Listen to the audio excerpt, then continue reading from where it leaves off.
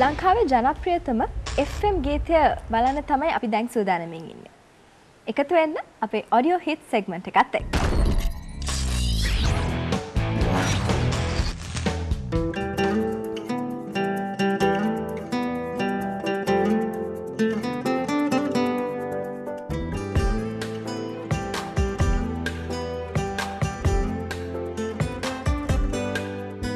ඇත්තම දිගුදෑස ඕඩික ගත්තාම ගොඩක් ජනප්‍රිය වුණාව කොහොමත් මගේ ගොඩක් ජනප්‍රිය වෙච්ච හැම ගීතයක්ම ඇත්තටම ඕඩි එකක් ඔස්සේ තමයි ඉස්සල්ලාම ජනප්‍රිය වුණේ. ඊට පස්සේ තමයි ඒවට වීඩියෝස් නිර්මාණය වුණේ. ඉතින් ඇත්තටම ගොඩක් පොඩි කාලවකවානුවක් තිබ්බා. මම සින්දු කියන එක පැත්තෙන් චුට්ටක් මිදිලා මම මියසික් ඩිරෙක්ෂන් කරන පැත්තට පොඩ්ඩක් යොමු වුණා. අවුරුදු දෙකක වගේ කාලවකවානුවක් තුළ.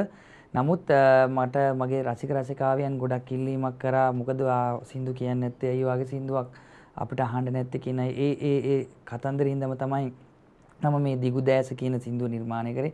දිගු දෑස දුටුවාම හැඟෙනවා පෙරසේම. උන්නු ඇති මගේ ගාව ඔය හිතට අමතකද? බිඳ දමා මගේ සීනේ.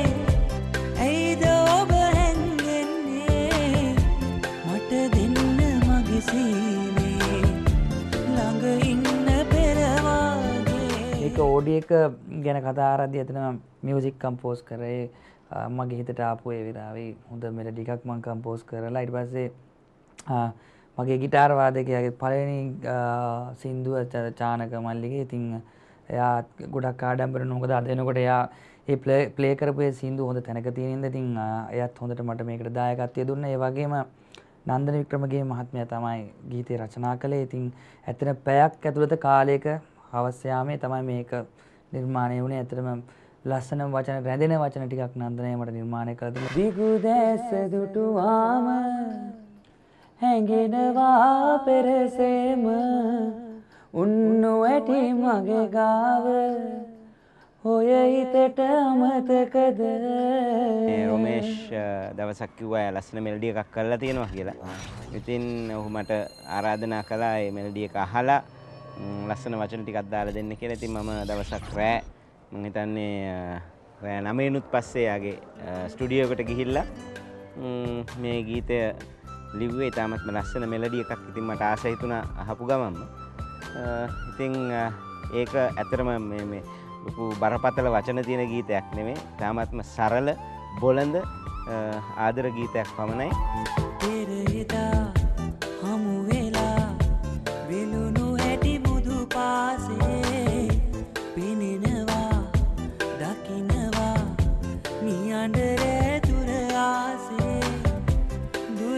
මිස ළඟ නැතිද? ආනවා නැතුමාගේ කවදාද ඔබ ඉන්නේ? නැතුවාද හමුවන්නේ? මෝටම මේකට පොඩි සම්බන්ධතාවයක් තියෙනවා අපි දන්නවා.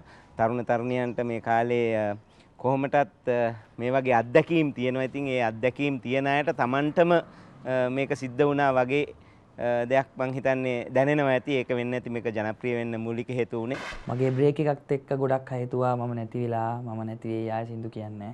ඒක අපිට හොඳයි කියලා සමහර අය කියලා තියෙනවා. ඉතින් ඒ වගේ වකවානුවක මම මගේ ගීතයක් දාලා මං හැමෝටම හොඳ උත්තරයක් දුන්න. රොමේෂ් කියන ලක්ෂාන් ගියන් පස්සේ රොමේෂ් කියන කැරක්ටර් එක තනි වුණා. නමුත් රොමේෂ් නැවතත් ශක්තිමත් පුද්ගලෙක් වුණා. ඇත්තට මේ ගීතයත් එක්ක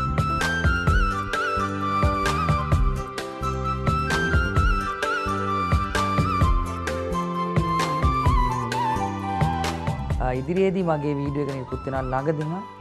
මොකද දිගු දෑස එක වයිඩ් ඇන්ගල් ආයතනෙත් එක මම කරන්නේ. ඉතින් ඒකෙත් හොඳ කන්සෙප්ට් එකක් තියෙන මොකද මේක සාමාන්‍ය ජනතාව අතර ගොඩාක් ජනප්‍රිය වුණ ගීතයකින්ද මේකේ කන්සෙප්ට් එකත් ගොඩක් සරලයි. ඉතින් මං හිතනවා දිගු දෑස බලන ඔගොල්ලොන්ට ගොඩක් ආසහිතේ ඕඩිය එක වගේම තවත් මගේ ගීත නිර්මාණ කරගෙන යනවා. මොකද දැන් ඇත්තටම මේකත් එක්ක ලැබිච්ච මට ලැබිච්ච නැවත ජනප්‍රියතාවය නිසා මට සිද්ධ වුණා නැවතත් මගේ ගීත නිර්මාණය කරන්න ඉස්සරහට තවත් අලුත් සින්දු මගෙන් මගේ රසික රසිකාන්ට ලැබෙනවා අනිවාර්යයෙන්ම. දිගු දැස දුටුවාම